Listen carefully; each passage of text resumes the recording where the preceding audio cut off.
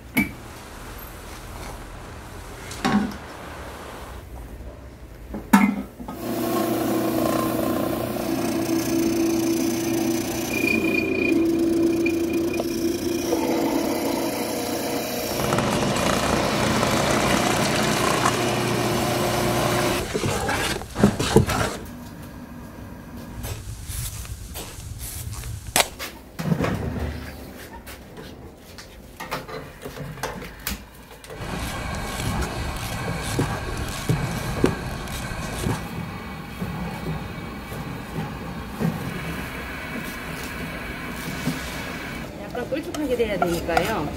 쌀가루를 넣고 이제. 다 됐어?